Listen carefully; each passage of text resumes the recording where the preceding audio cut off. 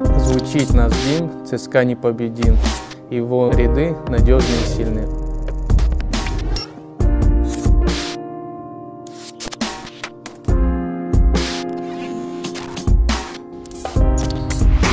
Я очень-очень молодой пришел в команду ЦСКА, они просто от меня сделали настоящего футболиста, настоящего человека.